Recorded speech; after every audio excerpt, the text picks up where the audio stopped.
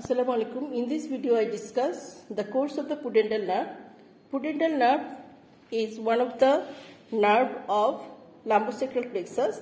This is the location of the lumbosacral plexus. The pudendal nerve is from this lumbosacral plexus and this is the sciatic foramen and this is the sciatic foramen. So pudendal nerve leave the abdominal cavity through the sciatic foramen. Then it related the with the ischial spine and then again it enter uh, abdominal cavity through the lesser sciatic foramen and it's follow a canal present here. This is the location of the pudendal canal and you see this is the outlet, the perineum.